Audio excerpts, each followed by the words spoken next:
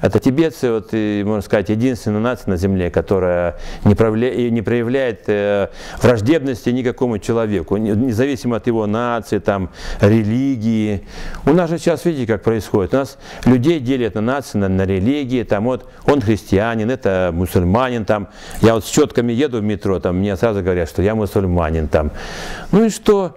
А Бог единый, неделим. В общем-то, я считаю, что должна быть единая религия.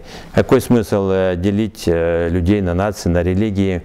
И что удивительно, то, что э, тибетцы, они такие, в общем-то, они никогда не воевали, ни на кого не нападали. И там существует вот именно такой, э, такая аура благоденствия. В общем-то, я жил среди тибетцев пять лет, в общем-то, никто на меня не напал, никто там меня не оскорбил. Вот. И даже сейчас я был в Индии, в общем-то, я консультировал его святейшество, вот, э, в Индии, то, естественно, там э, вот мне а, все там монахи, ламы, все вот так, э, и даже индусы, все вот подходили ко мне и кланялись. То есть там уважает, лама уважает духовных людей. Вот.